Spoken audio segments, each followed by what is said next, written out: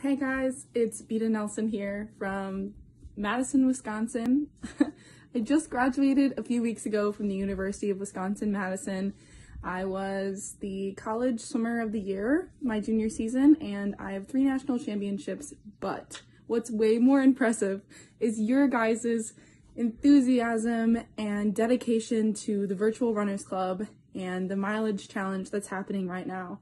I am not a runner myself. Um, I wouldn't do it unless I had to, but I'm super impressed with your guys' ability to continue to log your activity and fight through this weird, challenging, and kind of unknown time of our lives.